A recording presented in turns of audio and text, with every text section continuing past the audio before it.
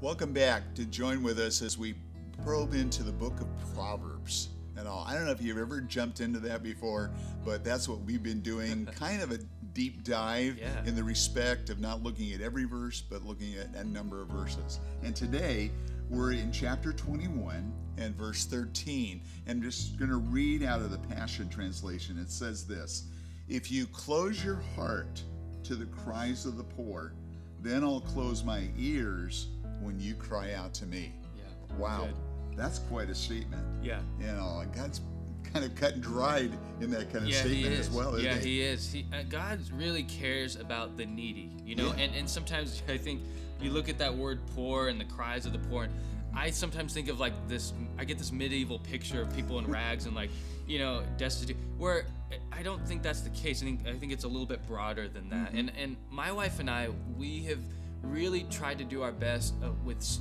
stewarding our money because again helping the poor isn't always money Right. but sometimes it is. And, and sometimes you can't you know just go do something for somebody in africa but you, you can send money to to aid them with other people that can. So so money is important as it Yeah. as it pertains to helping people. So we've really tried to do our best with how we steward our money and not just look at our bank account and say okay that's mine and i'm going to spend it how i Mm-hmm. want and, or i'm going to go off and buy a new car. Well maybe god wants you know the needy family in the church that you go to to have a new car. Maybe Yeah. you're supposed to bless somebody else with with the blessing that god has given you. You know, sometimes even just passing down clothes from from kids to kids. Yeah. You know, wash them first, by the way.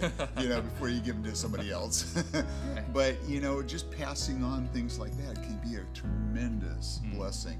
Yeah. Or a crib or other things like that. absolutely. You know, that pertain with kids themselves to somebody else that's needing it. I know in our family we've done that with between our kids and they've done it with other people within their lives. And it can be a great blessing that you have. It isn't always trying to take away from what you may have because say I feel guilty and I need to help somebody and all. Right. But it may be things that you have that you're not using at the moment.